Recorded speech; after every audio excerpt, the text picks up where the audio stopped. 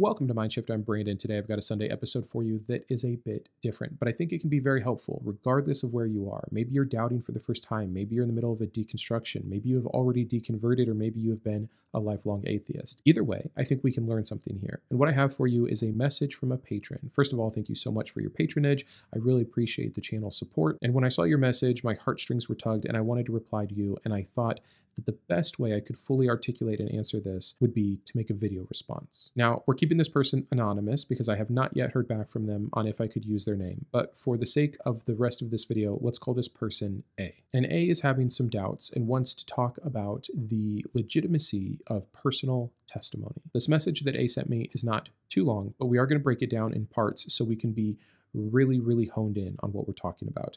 The first lines here are I received a text from an online friend, a Christian, who told me that the Lord had put me on his mind. Now, there's more coming after this, but let's start here. And let's start with the very first sentence. A's friend sent them a text saying, The Lord put you on my mind. How very vague. Now, there's many different ways we could conceive of this. We could see it as simply coincidence. We could see it as maybe this friend knows about A's deconstruction. I don't have all the information. If they did, it could be a form of manipulation to keep them in the faith. Or even giving a better benefit of the doubt, maybe this person really did have A come into their mind, and in the interpretation of their biblical religious lens, they believe that that message came from God and are just doing their due diligence to pass the message along. But I want to examine this, and it doesn't really matter which angle it comes from. Let's really think about this for a second. The first question I would pose to A is why the middleman? If I knew that my son was doubting that I loved him, he can't doubt my existence because, unlike God, I actually show up with him all of the time. So we're using a different example. Let's say he's doubting that I love him. The first and immediate thing I would do is go talk to my son directly. I would explain that I do love him. I would try to help him understand the ways I've shown him love, give him evidence of this love so he can feel assured. What I would not do is tell my daughter to go tell my son that I loved him. And that's even more than we're getting from this initial message. There is no message to this person, just, hey, you were on my mind. God put you there. If I, as a mere fallible human mortal, can see that one of these two paths, middleman or direct, is definitely more beneficial at the desired outcome of giving my son this assurance, why can't the all powerful, all knowing God of the universe? In what way is it actually better for this person? And I don't have his whole backstory, but let's assume he's been a Christian here for a good number of years. He worships, loves, and obeys this God. He's now going through a deconstruction process. In what way is the best call for God a vague message from someone else? A Christian might say, well, first of all, God works in mysterious ways. Cop out. Really, let's talk about why this could be better. Well, Okay, if you're going to press me on it, maybe because God can influence two people's lives. He can build the faith of the friend and also encourage the individual. That's a pretty good answer, except again, it's less beneficial to the individual. It seems like the friend doesn't have a problem with their faith. Why risk the eternal soul of a just to try to kill two birds with one stone? Well, maybe he needs A to learn to take things more on faith. So we're not going to give him all the evidence. We're not going to get them all the way there. But the issue is already a crisis of faith. How does being vague and utilizing another person help someone with their faith? It's obviously just causing more confusion. And does God need to make these efficient optimizations where he only has a limited amount of time, so he has to do something that can help potentially two people instead of something that can definitely help one? How insulting is it to believe that this God is up there and that you are struggling and that he is clear as day talking to your friend about you while ignoring you completely. I see this as beyond obvious and ineffective and clearly only causing more confusion. Now, from the friend's perspective, I think again, trying to be kind, there's two situations. Either they know their friend is having doubts, and that's maybe why it came into their mind in the first place, and then they attributed that meaning to God, or they don't know that their friend is having doubts, in which case this is just a great coincidence. But neither one proves anything particular about the truth claim of this God. This is confirmation bias and the availability heuristic at full display. How many other times has someone popped into your mind that you don't attribute to God? Oh, but now it's your friend that you know is going through a deconstruction. So this is clearly from God. But when you had a random memory last night of a particular conversation you had with someone in high school, that was just what?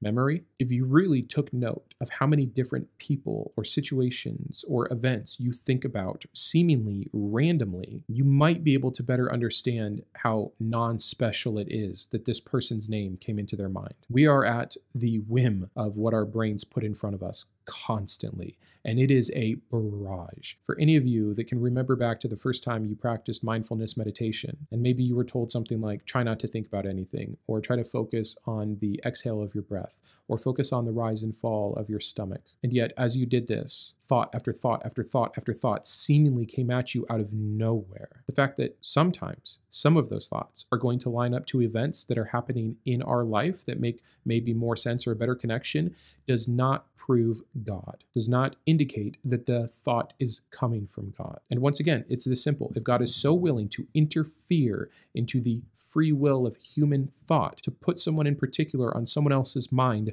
why not just help A out directly. There's simply no good excuse for this. Let's move on to the next line, and I promise we won't be this thorough for each and every single line in the message. But A says, Now, since I am actively deconstructing, my first instinct was to believe that this was a sign from God, that I'm making a mistake. Maybe it was. I honestly don't know. This is so fair and so honest. And I thank you, A, for sharing so humbly. The deconstruction process is one of true confusion. You are torn between two worlds. This thing that has been claimed perfect truth your entire life. A God who works through signs and interpreters and anecdotal experience and all of these other highly emotional feelings in lieu of actual empirical evidence, this very vague spiritualism mixed with what you're deconstructing, you're trying to understand is this real? Do I have a good basis to believe this kind of a thing? Is there validity in the scriptures? Do these experiences mean what I have previously perceived them to mean? And you might go a few weeks or a few days or a few months or even a few years in your deconstruction or your deconversion and feel really confident about something. And yeah, that's obvious nonsense and that doesn't make any sense. And then, bam, just like that, a friend says, God put you on my mind. Whew, emotional right? It's feeling, it's personal. Whoa, is God thinking about me? Is God reaching out for me? This isn't some internet stranger. This is someone I consider to be a friend, someone I trust. They wouldn't lie. They're not manipulating me. They must really believe this. And if they really believe this, maybe it's true. Maybe I'm wrong. Maybe I'm deceived. Oh no. And the worry and the fear, and again, always the confusion so easily creep in. The first thing I would point out, and I don't know A at all, I don't know their path, I don't know how far into their deconstruction they are, I don't know what kind of a Christian they were or their background. But one thing I know to be very true across the board is that many people deconvert. I don't want to say for bad reason, but maybe with bad evidence. If you deconstruct or deconvert off of feeling, then other feelings are going to flip you back in. And yes, it's justifiable to be hurt by the church, and to even have the thought that something this true and this good and this loving shouldn't lead to this many negative consequences. That's a fair thought. It doesn't immediately eradicate this God. It doesn't make you right and him wrong. It doesn't mean he doesn't exist. And so, if that's your entire basis, it's also going to make you much more susceptible to the flip flop confusion nature as other feelings get brought in against your prior feelings. In a game of feelings, no one wins, which is why I like facts. And the fact of the matter is, and what I would encourage A to do here is instead of going back and forth between feelings, again, not saying that's all he's doing, have you considered why you really don't view the Bible as a source of truth? Have you looked at the origin stories of Yahweh to see what a man made creation he has been and how it has changed through time, which is something that an immutable God as described in Malachi, should not do? Have you seen the mutually exclusive properties of this God actually on display when you read the text? Do you understand the contradictions and the context of the Bible? Do you have a good understanding of time and place and other cultures and other religions to know that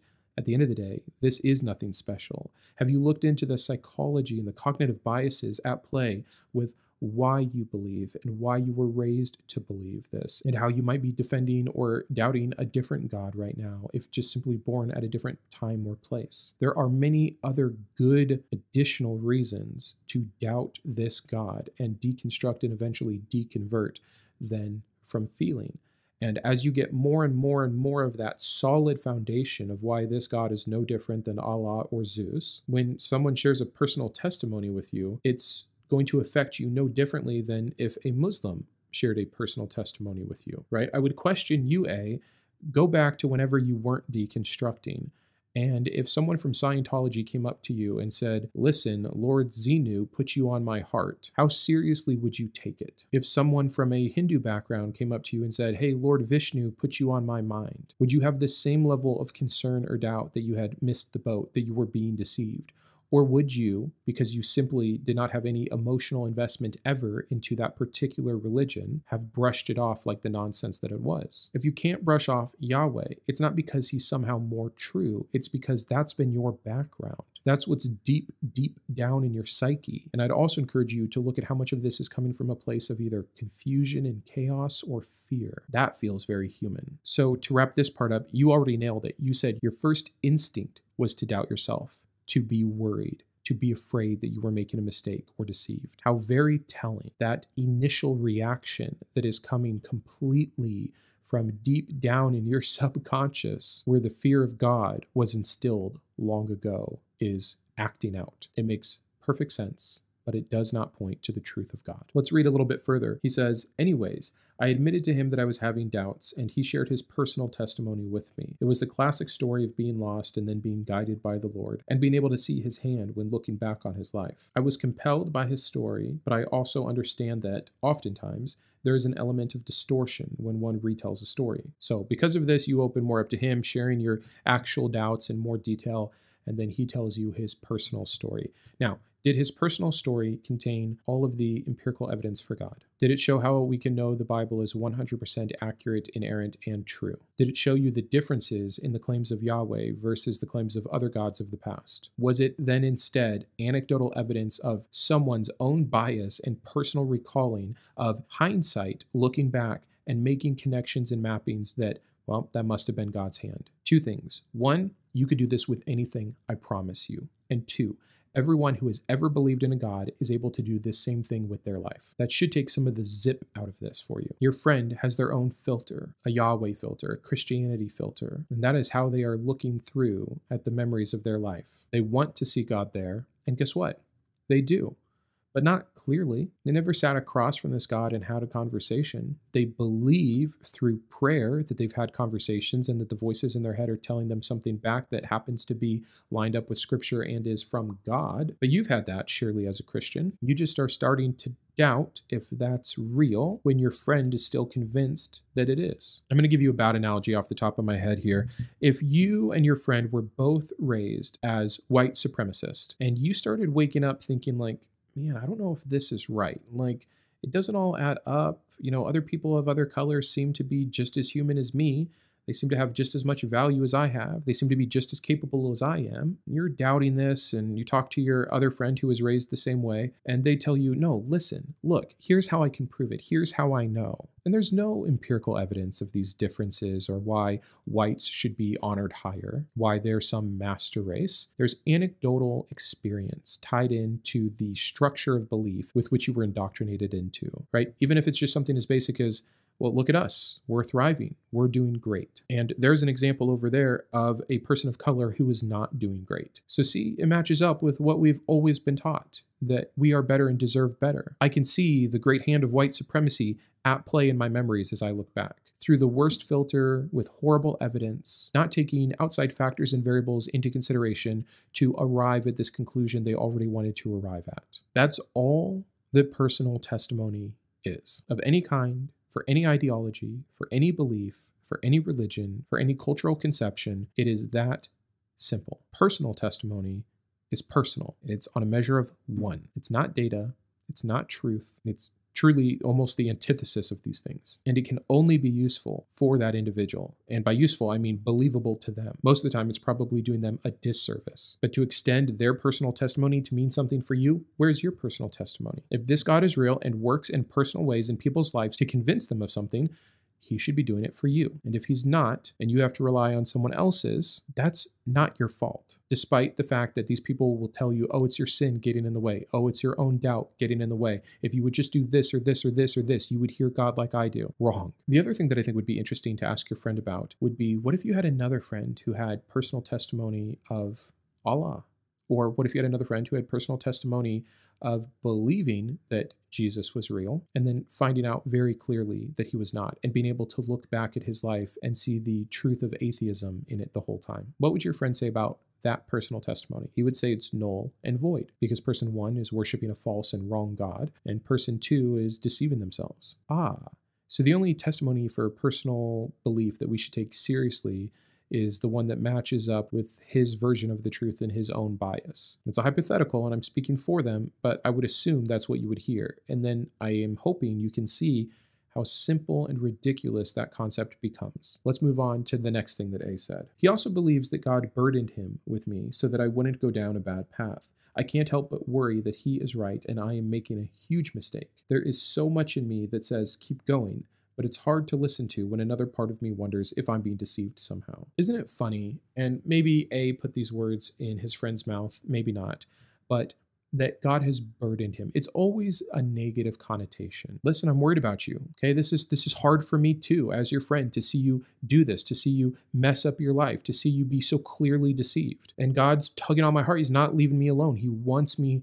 to help you because if you leave God, you're going to go down this wrong path. How ridiculous. And I'm projecting here from some of my own conversations with my own friends, but how dismissive of who you are as a person that the second you would leave the same belief system your friend has, you would become something worse. And of course, they believe that. It's what their scripture tells them to believe. Christians do not have a monopoly on morals or doing good. And throwing that in your face as some kind of a fear tactic of who you will become is downright disingenuous. And then we're back to your dichotomous parts. Your one part that is seeking truth, trying to make sure that you're not erred, already making sure that the wool hasn't been pulled over your eyes. And yet it's battling these other voices saying, this is how you become deceived. This is how you stray. By what? Seeking truth? So, what should you be doing according to your friend to not be deceived? Deceive yourself? Go against how you're currently thinking and feeling? Not desire for answers to the hard questions of specific religions and their claims? I think we could have a whole conversation. I know we could have a whole conversation on this concept of being deceived, and I'd encourage you, if you haven't, to watch this video. According to the verses that I quote in that video and all of the examples that I give that are all biblical, no one has any ability to actually be assured of their faith. Anyone at any time while still in this earthly realm can be deceived by the devil, by his demons, or by God himself. There can be people that think they're saved that will supposedly wake up upon their death to find that they are not. Even the elect is what the Bible says, which is an insane statement. So, again, if you want a further discussion about if you should worry about if you're deceived or not, watch that video. But if your friend believes you can be deceived, then by the own definition of deception, it's not your fault. And how would you know? So if you, in all of your clear, sane presence of mind, are thinking, I don't want to be deceived, I want the truth, and I'm willing to tackle the hard questions and follow the truth wherever it goes, that to me sounds like the opposite of deception. That sounds like someone being honest. Next, and almost done, he says, I've wanted to look into personal testimony from other religions and see how that differs from Christian testimony. I'm not in an emotional place right now to claim that all these redemption stories are not based in a true belief system, but I think I could get there if they happen in other religions and beliefs as well. This is so true, and this is such a problem. So many times, especially, I'll just speak from personal experience in America we are told in our Christianity, this is the only truth. And under that guise, that there is only one God and it's this God, and you happen to have got it right, luckily, by being born in the time and place that you were, when you feel those emotional and typical human, psychological, even spiritual feelings, you attribute them to the God that you know and believe in, and you believe that those feelings are special and unique. Because if those feelings can only come from a God, and you happen to have the only right God, then you and other Christians like like you are the only ones that get to have those experiences, and you're dead wrong. Go speak to other people of any other religion that really believe what they believe. And they will share personal testimony, divine revelation, how their God or gods worked with them in dreams to reveal themselves or to give them a message, how prophecy was utilized, how healing happened. All of the things that you think are special and unique to the Christian experience, the feeling of the Holy Spirit that you know so surely is the Holy Spirit, they feel with their particular God. And it took me a long time to actually be able to recognize and believe that, but it's just being human. We know that humans can have these deep spiritual experiences as a natural phenomenon. And what every one of those humans does is attribute those feelings as evidence for their particular God belief. And that's why personal experience is one of the hardest things to get over as you start to deconstruct and deconvert. But you're right, as soon as you really come to the correct understanding that it is something everyone is capable of having and experiencing, and that everyone of all different walks of faith does, it eradicates this idea. So, my encouragement to you and to other people that are hung up on the same step have real conversations with real people who believe really different things than you. And I promise you, you will see very quickly how human we all are and how natural, not supernatural, this all is. I hope, A, to you, that this has been helpful. And I hope to anyone else watching that you've gotten some further insight into the turmoil and the chaos and the doubts and the process of deconstruction and deconversion. Even if you're a Christian who's never going to change their mind, maybe you can understand some of the earnestness of the seeking and searching of the individual who's going through deconstruction or who has arrived at the other side already of deconversion. They're not trying to personally offend you. They are simply on their own journey looking for truth and struggling with what has always been claimed as truth in their life when some kind of evidence pops up against it. That is a very hard thing to go through. And I think that everyone, no matter where people end up or what process they're deconverting or deconstructing from or going towards, should have a little bit more empathy and grace for. So that's all I have to say on the subject. I hope that this kind of a video was fun, entertaining, educational, and helpful.